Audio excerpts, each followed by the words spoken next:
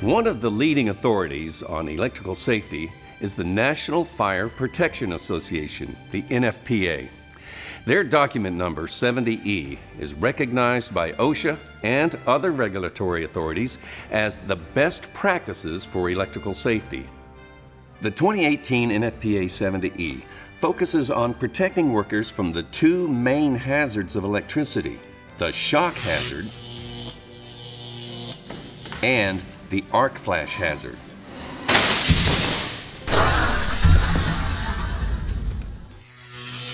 A shock hazard is defined as a source of possible injury or damage to health associated with current through the body caused by contact or approach to energized electrical conductors or circuit parts.